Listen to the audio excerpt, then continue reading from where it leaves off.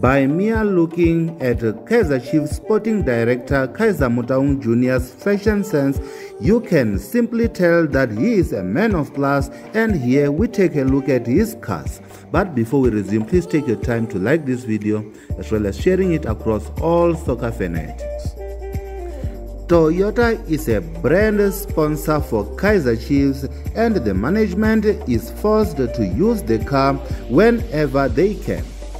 The son of the boss, Kaizer Motaung Jr., however, has been spotted in Naturena driving German powered luxury cars such as the G63 Brabus as well as the E63 V12.